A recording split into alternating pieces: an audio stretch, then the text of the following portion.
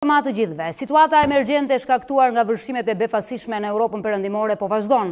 Është bërë e ditur se deri më tani janë raportuar mbi njëqind e njëzet të vdekur në Gjermani dhe Belgjikë, përderisa së paku një mijë e treqind persona të tjerë konsiderohen të zhdukur.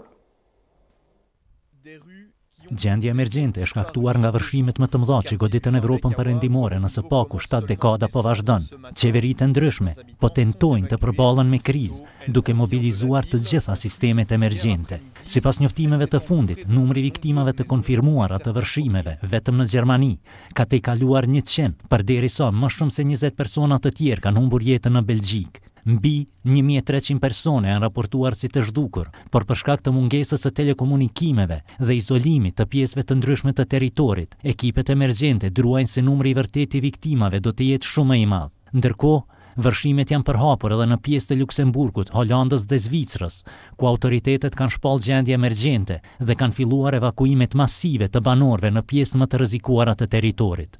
që situata të jetë edhe më e rëndë. Disa meteorologë kanë paralajmëruar se ky mund të mos jetë fundi i kësaj vale të vërshimeve, por se ato do të mund të vazhdojnë të përhapen edhe për së paku njëzet e katër orë, duke përfshirë pjesë të tjera të Evropës Perëndimore dhe Qendrore.